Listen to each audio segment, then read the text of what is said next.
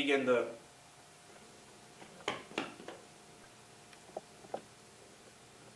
There you go. Alright. Like to begin talking about the 50s by saying the 50s was probably the second worst decade of all time for comics. Let's start with how well they did at the beginning of the 50s. Superheroes were a dying breed a little bit, and you have these genres popping up. Really good ones. Horror, crime, westerns, romance. Like, superheroes was still in the background, but not so much. National Allied uh, was doing good. Superman and Batman were doing good. Wonder Woman was a new creation from the 40s that was doing well. Like, all the... However, certain things weren't exactly going right. Like, it was... But you had quality comics. You had Dell uh, Publishing. You had Timely, if not Atlas. You had MLJ still going with Archie and uh, Red Circle characters. And well, what could possibly happen to make that go away?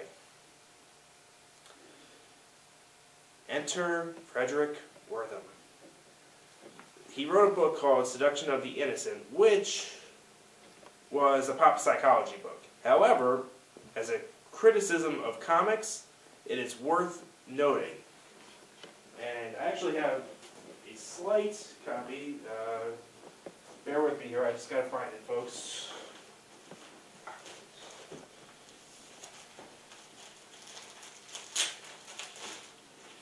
Slight. Time I read this, my eyes kind of burn out of my head.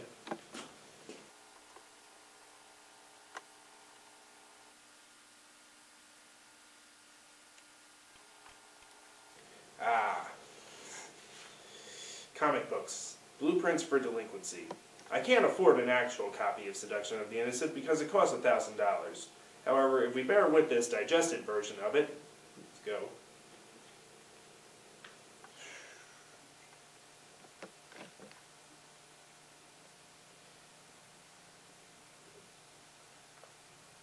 It starts off with Willie. Police uh, on July on a, one July day in 1950, during a baseball game at New York's Polo Grounds, a middle-aged spectator in the bleachers suddenly slumped over, blood pouring from his head. He was carried from the stands and died soon afterwards, the victim of a 45 caliber bullet, apparently fired at random from one of the neighboring apartment houses.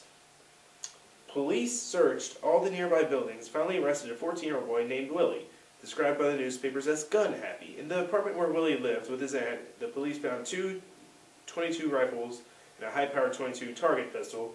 The boy also confessed to owning and firing a 45 pistol. In court, the judge stated, We cannot find you guilty, but I believe you to be guilty. With this statement, he committed Willie to the state reformatory for an indeterminate stay. Editorials blamed the boy's aunt, reproached for her being irresponsible in training the youngster. But was she? Investigation revealed that Willie had been a rabid comic book reader. His aunt had become alarmed and forbidden to bring such books into the house.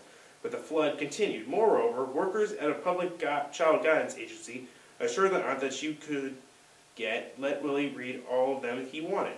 Some of Willie's books are before me as I write, smudgily printed and well thumbed. They are abashed chronicles of violence and sex.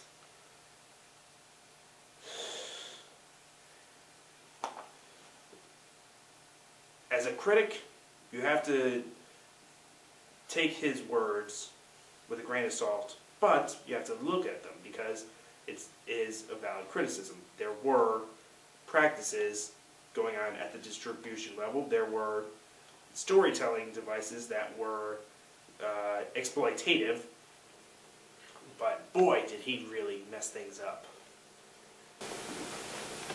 Wertham was appointed as investigator by Estes Kefauver, and Kefauver eventually held hearings about the link between juvenile delinquency and comic books. Now, juvenile delinquency was at an all-time low in the 1950s. However, because of numbers that Wertham made and senators made, they could make it appear that comic books and delinquency were interrelated.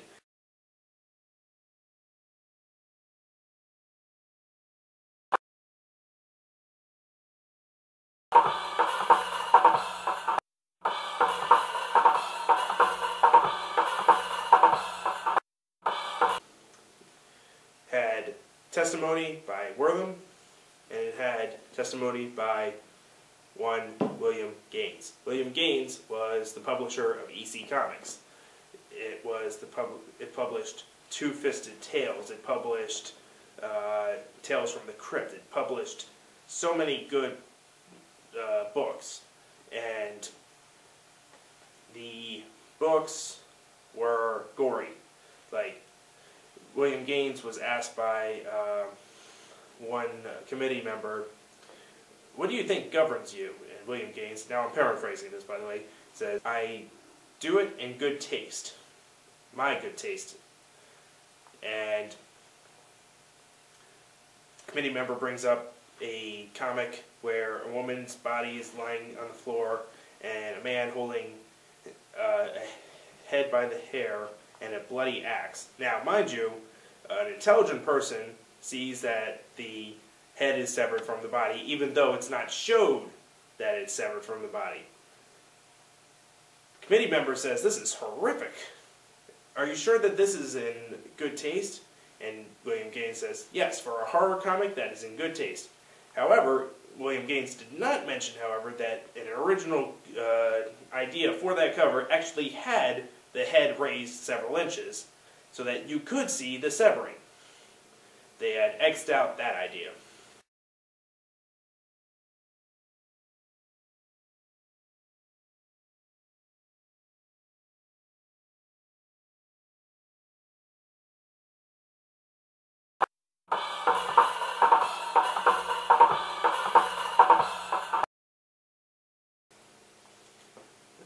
But the committee eventually did what it was meant to do.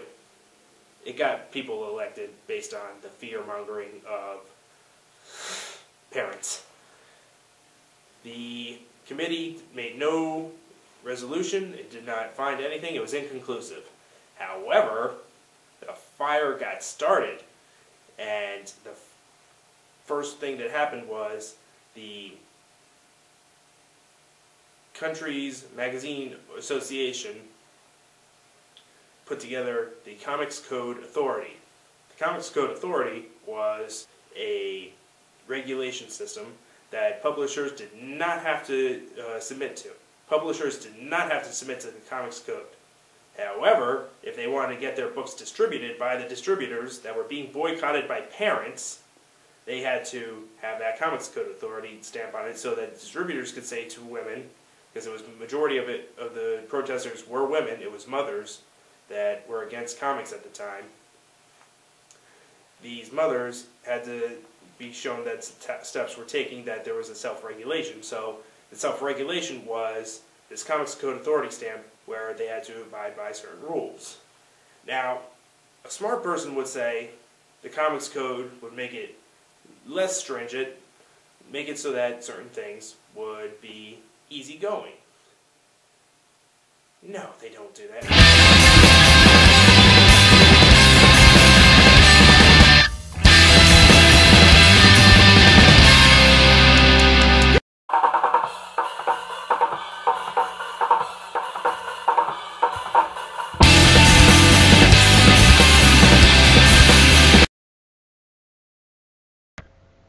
Before we go any further, I'd like to introduce the audience to another country, Japan. Japan started its, um, shall we say, comics industry early on with magazines like Japan Punch by Charles Wirgman and a French cartoonist also uh, had a hand in early Japan with uh, Tobei which was his name was George Burrow. Now, Japanese manga was has its roots as far back as Hokusai ukiyo paintings.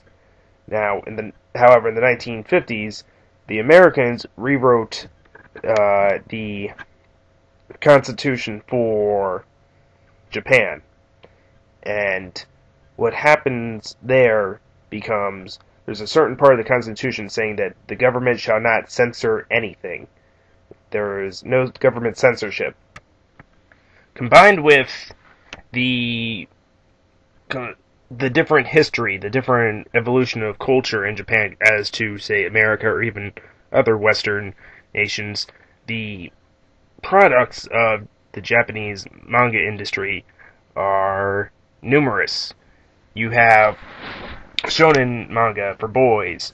You have shoujo manga for girls. You have seinen manga, which is an evolution of gekiga, which is dramatic pictures. You have fujoshis, you have otakus, you have these different styles of storytelling that are just worlds apart from other countries' uh, developments. Then you have the fact that everybody in Japan reads manga. And I mean everybody. There has not been a witch hunt in manga that Americans have had. Um, salarymen, housewives, people on the train can read manga. Like there are manga vending machines uh, that have these telephone book size magazines. The biggest difference I would say in manga and comics is that the distribution of product is that manga comes in mostly anthologies the size of telephone books. These telephone books need to be run or, and edited and administrated with intense uh, detail because if one person is late, like that means that there's about 16 to 20 pages missing in the telephone books, and it makes things a lot harder, as opposed to Americans who can be very comfortable with lateness. The books in America can just sit on the shelf or sit uh, idly by and be months at a time late, whereas in Japan, where a country that values efficiency very highly, this is uh, almost unheard of. And because of these uh, openness to new ideas and whatnot, there is almost no underground comics in Japan, as opposed to say America or the Western countries. Like there are a multitude of publishers that will take the works. With evolving technology in printing and cartooning, animation, uh, manga has become one of the premier uh, comic book formats in the world, mainly due to its uh, two point attack in print and in film and television. While very different from each other, American comics and Japanese manga have evolved into the point where they could be cousins of each other.